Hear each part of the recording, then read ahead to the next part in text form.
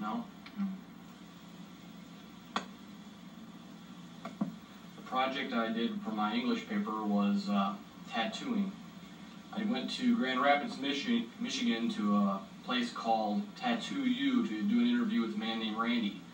Um, out of four people that I called to do interviews, he was the only one willing to do so. Um, I think you'll find when watching this interview that he's really hard to understand. There's music going on in the background, plus he doesn't uh, talk very loud, so you're gonna have to listen up. I hope you enjoy this portion of the presentation.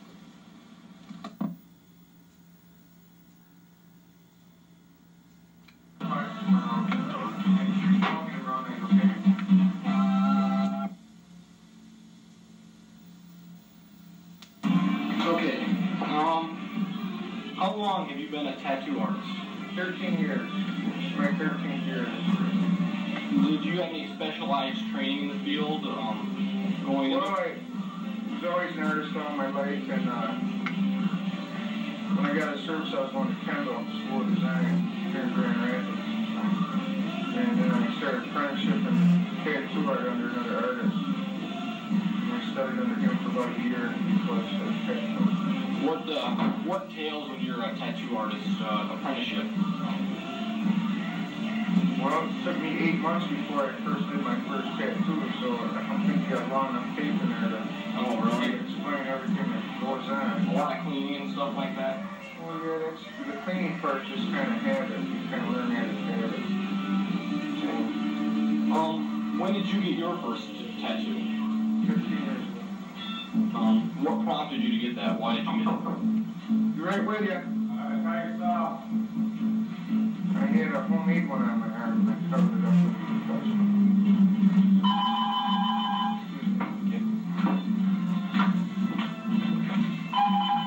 Okay, so you've been. About how many customers do you average in a day, average day? We're from ten to twenty. Oh, yeah. Um, about how long does it take to, ten to twenty, that's quite a few for like a piece of artwork. About how long does it take to put on an average piece of, uh, tattoo work? Wow. Um, what type of people get tattoos? What type of professional, um, what, what type of professional backgrounds come in here to get tattoos? You have like, well, I don't really study people's background, but we get people from all walks of life. It's not the, the old cliche biker sailor anymore, you know. I get people from doctors, teachers, lawyers, nurses, college students. I'd say majority of my business is women. Um, what question are you asked most by people getting tattooed for the first time? Does it hurt? Does it? Bit. Um, does it depend on where you get the tattoo? Oh, yeah, definitely. Parts your body a lot more sensitive than others. Um, what design is requested most often? Flowers, Flowers. Um, do you many people getting like, uh, girlfriend's names, uh? no, I discourage that. Um, you had any problems with any, um, customers that have come in here? Um, as far as, you know, like any business?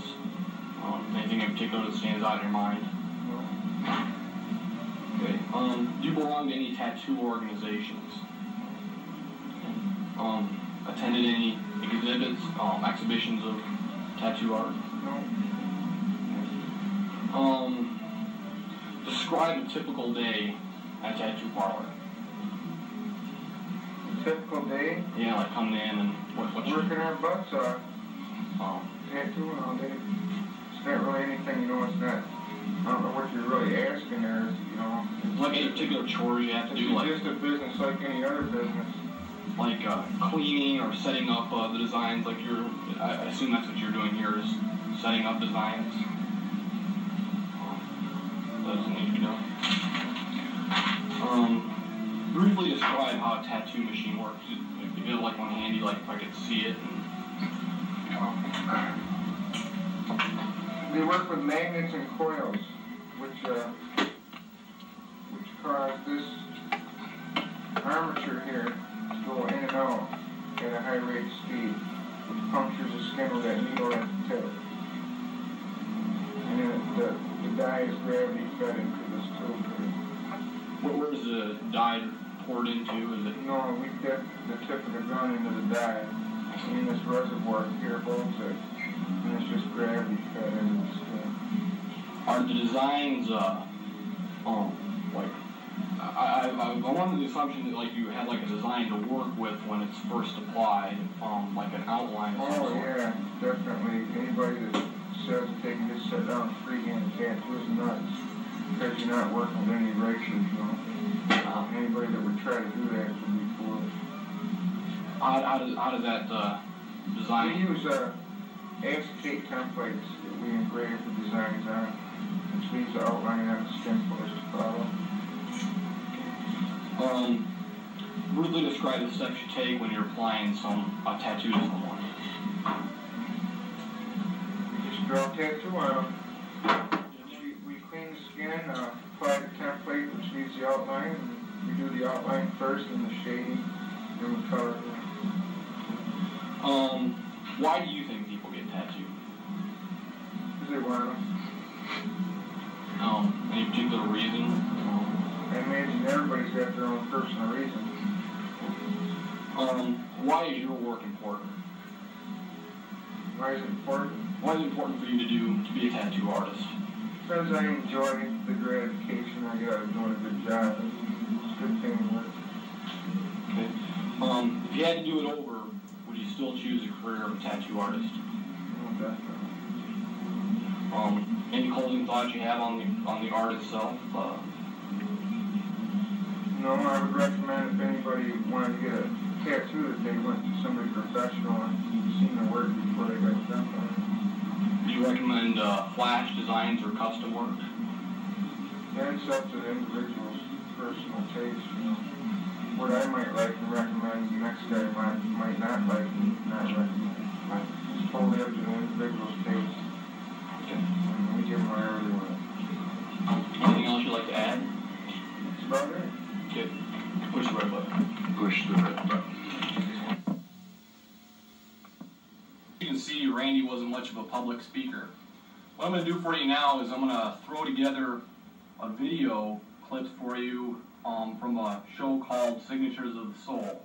I'm going to use my own music, but I'm going to kind of give you a feel of what it looks like inside the tattoo parlor. And also I want to show you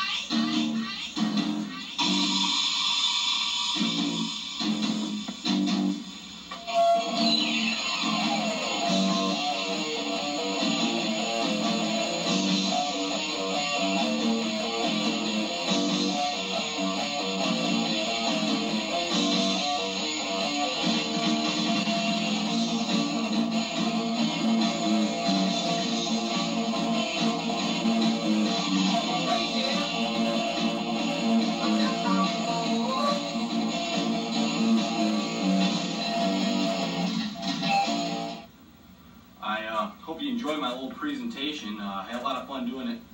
Um, I hope you picked something up about uh, tattooing too. But in the meantime, let's listen to some rock and roll.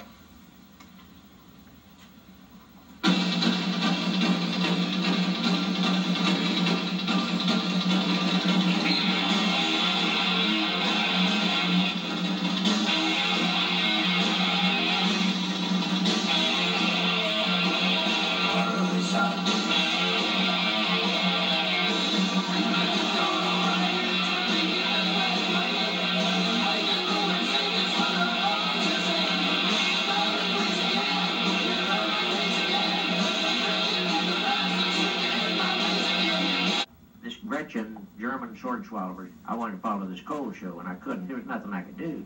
Couldn't do anything. And this woman, uh, she got fired in Bluefield, West Virginia, 30 miles from my home. And she heard my story. I wanted to go with the circus and I was crippled. And she took me under her wing. In three days, she had a stove poker down my throat. I could swallow so. And I started out $75 a week, three meals a day, in a stateroom on a circus train. My uncle, like a bloody attack. Oh, my God. All right. We played in Auburn, Virginia, and was in there four days. Past this tattoo shop on uh, East Main, Cap Coleman. And I didn't know about tattooing. We had a drunken tattooer on our place. So I said, I want to go in there and look at his pictures. You're not going to get tattooed. I said, never in this world. No. I'm a sword swallower, 15 years old, crippled. They took me in there and I saw one putting an eagle on a sailor's back. I knew I could draw a better eagle than that. And I got an old piece of paper off the desk over in the corner. I said, Scott Bar, see this paper? Yeah, go right ahead. A cigarette hanging in his mouth and there's old big black heavy tattoos all over. I drew an eagle and he said, how'd you learn to do that? And I told him, I said, I picked it up. Do you ever think about doing this? I said, no. Next day I went down there and stayed three hours with him.